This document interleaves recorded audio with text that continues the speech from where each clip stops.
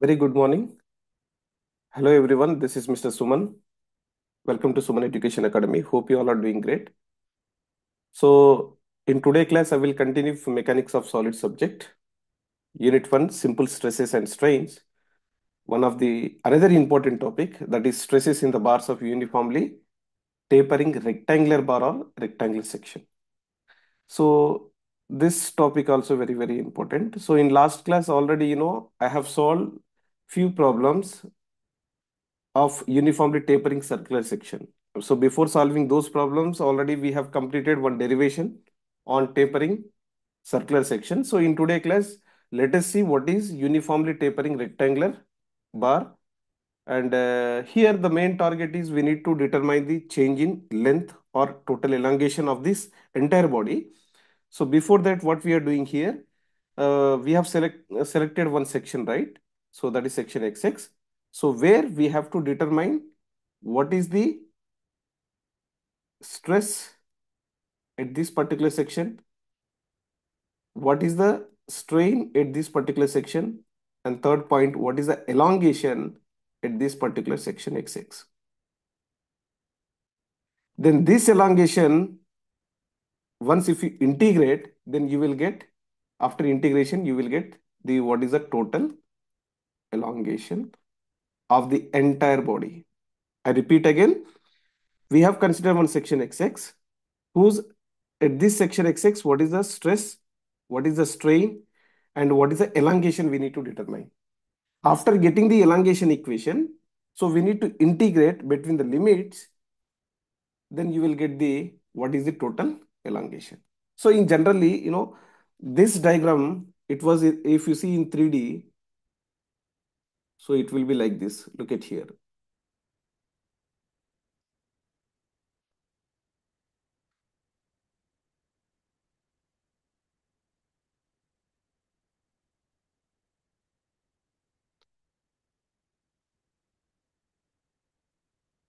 Clear.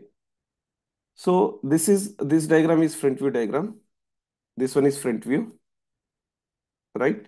And here top view is this one. This one is top view diagram. Clear?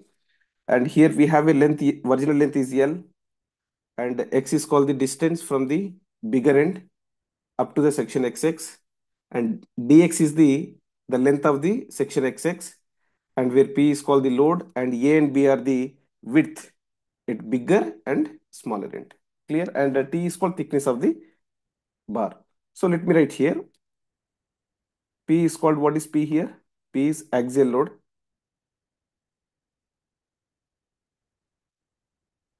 Next, what we have? We have L. L is called length of length of the bar. Length of the bar. Next, what we have here? A that you can see at left and right. So which is width width it bigger end, right?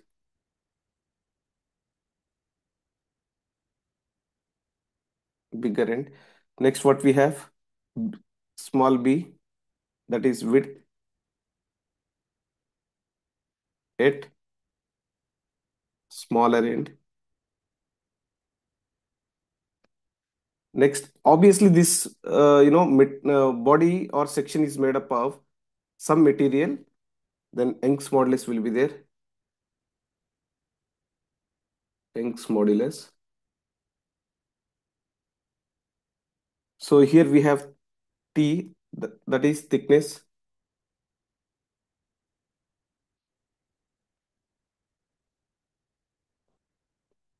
Thickness of bar. So what we are doing here for entire section, you know, very first we need, we must know the what is the elongation of the considered section XX, right? So we have considered, anywhere you can consider, right? There is no condition at all. So let me choose some other color. So here, considering very simple derivation, considering any section, but important also, especially for competitive exam, you might find, you know, one marks questions. So considering any section xx, right? But make sure at a distance how much? At a distance of, at a distance x. Look at here, what we have at a distance x. From which end? Bigger end, right? From the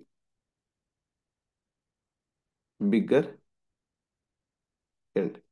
So here we need to determine what is the width because here we know what is the width. Let us uh, assume it is A and it, here it is at this end is B. So at end A we know the width that is A. At end B we know the width that is equal to small b. But we doesn't know what is the width at section xx, right? So let us calculate the width, right? Why we need to calculate the uh, calculate the width? Because here, look at here. First, we need to calculate the stress. Stress is equal to what is the formula? Load to the cross-sectional area of section xx. So to get the cross-sectional area, we must know what is the width at section xx. Got it? So calculate what is the width. Calculate what is the width of the bar at the section xx. Once, if the student is understand the derivation means he may, he he can solve all the types of problems with no doubts. So here, what is the width at section sec, uh, it's uh, section xx? He here we know the width the at bigger end that is a minus of. So similar to the previous derivation, uniformly tapering circular section. So A minus B up to the length L, total length L. And at section X we are talking, right? So into X we have to consider. So here, this is the width at the section XX. Now here what I will do, I will write A minus, this A minus B by L that I will consider equal to K because just minimizing the equation into X. So let me write here, therefore, here K is equal to A minus B by L. Clear? Now, this is the width at section XX we have got. After getting this, so what we can calculate? We can calculate the what is the area, right? Because we know the thickness. Let me write the thickness also. Thickness of the bar at section XX. What is the thickness? Thickness is equal to T, right? So we know the width and we know the thickness. So what you will get by this? You will get the what is how much is the cross-sectional area. So therefore, area of the section xx. What is the equation? That is width into thickness, right? So here width is equal to how much? A minus k into x and into t. So we have got the area. After getting area, now we can find the stress. Stress at section, we are just discussing up to section xx only. At section xx. So stress is sigma suffix x, which is equal load to the cross-sectional area that is a suffix x, right? So here load is P, that is tensile or axial load divided by cross-sectional area is how much? A minus K into X into T. And here we know, because next strain we have to find, right? But I'm getting from this relation, we know that Young's modulus, which is equal to stress to the strain. So what we need to find from here? Strain we need to find. Then it is stress to the Young's modulus. So what is stress? Stress we know that is P by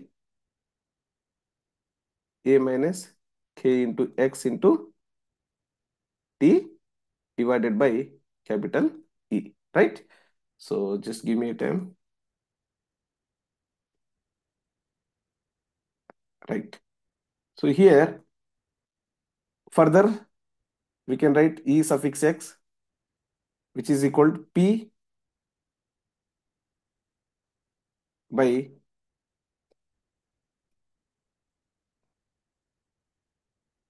P by Et into A minus K into X. And uh, this is called what we have got?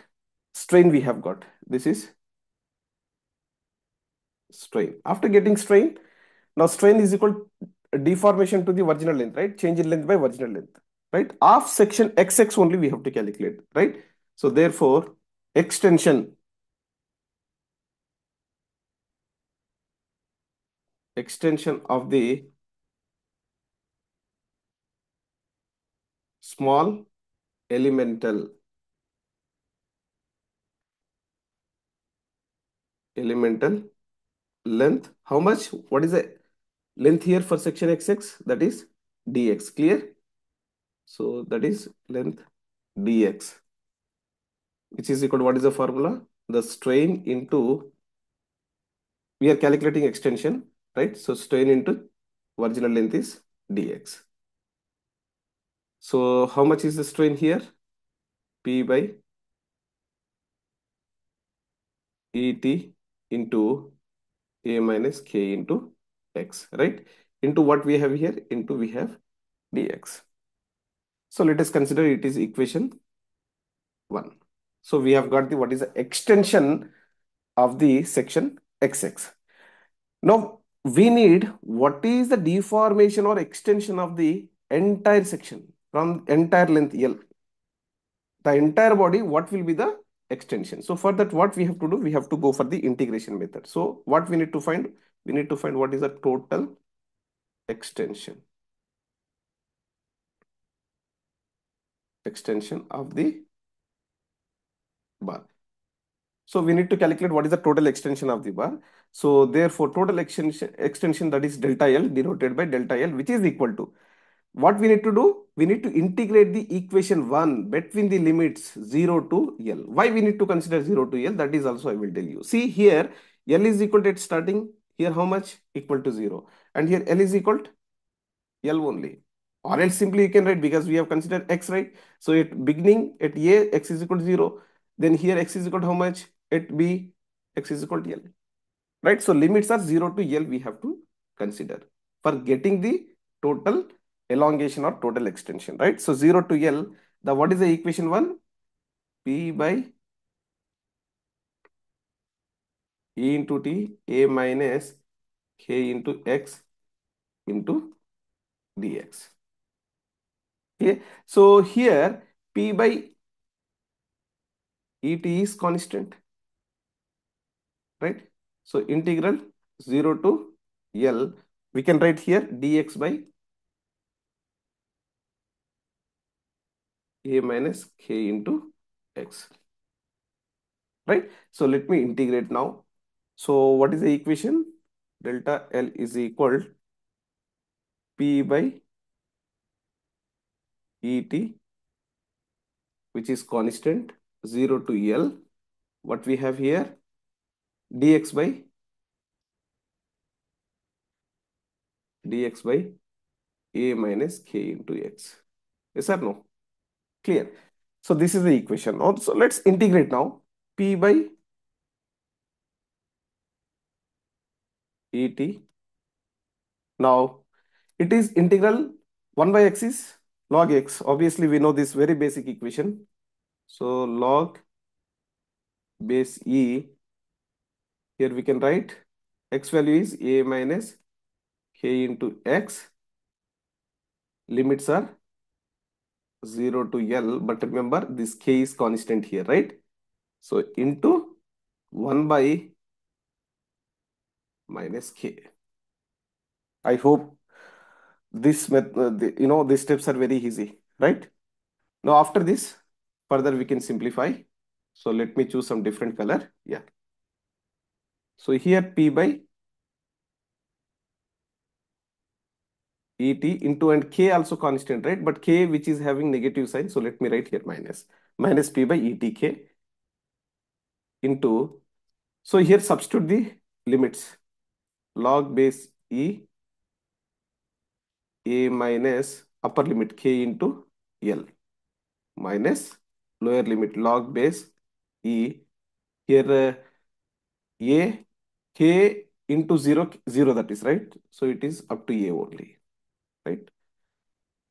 Then we can further, we can write P by ETK. So let's multiply with minus. Then it will, this equation will become log base E, A minus, because minus into minus plus, right? So place terms I'm writing first. Log base E, A minus K into L. Here it is in the form of log A minus log B. Clear? So therefore we can write therefore delta L which is equal to P by ETK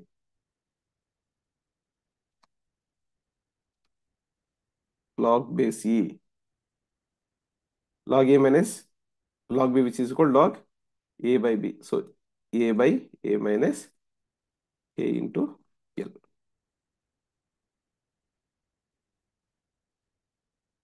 Clear? So let us consider it is equation number 2. Now, it is lengthy derivation, but only basic simplification.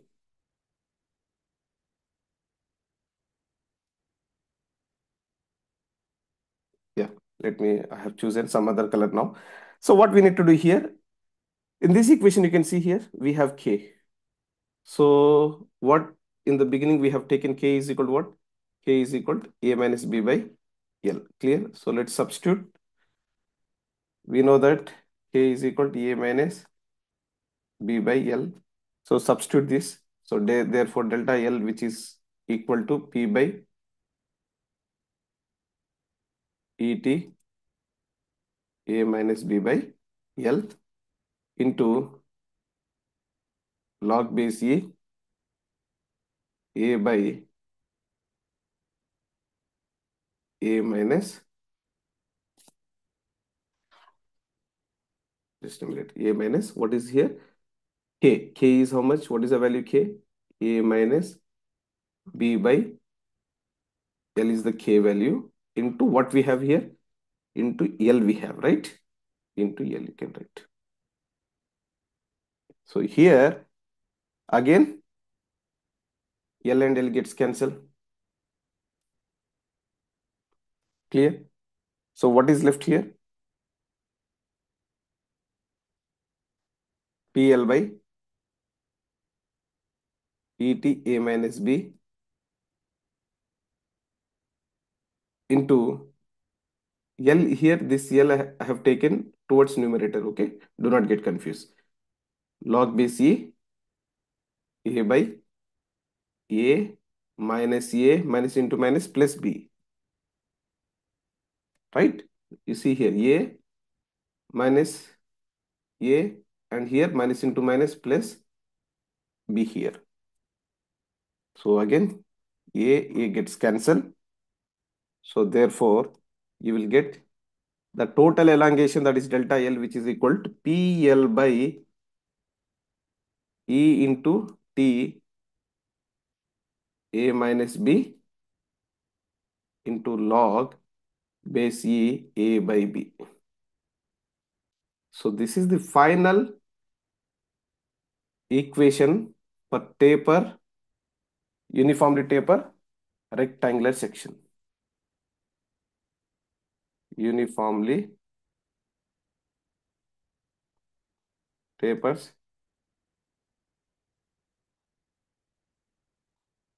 rectangular bar or section. Right? So PL by E T into A minus B into log base E A by B. So here P is called tensile load. L is length of the entire uh, section, Young's modulus of the section, thickness of the section with bigger end, width at smaller end, right? And uh, here delta L is the total elongation of the bar. So thank you each and every one of you for your great support. So recently total uh, subscribers uh, I think more than 6,000. So thanks to each and every one of you.